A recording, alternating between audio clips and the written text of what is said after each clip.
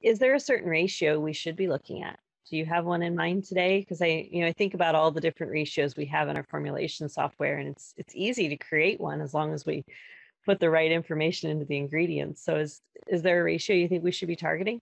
You know, I don't know if there's necessarily an answer today. I think we're kind of getting closer in terms of having an understanding. You know, if I remember right, a common US gestation diet's about nine to 10 to one ratio of insoluble to soluble. You know, if you look at some of the more recent publications, maybe a, a three to four in a perfect world. Again, that may be somewhat hard to achieve with U.S. mid, at least in the Midwest, corn soybean meal based diets. You know, the other aspect to look at is, is a grams of fiber per day intake, whether it's TDF or soluble fiber.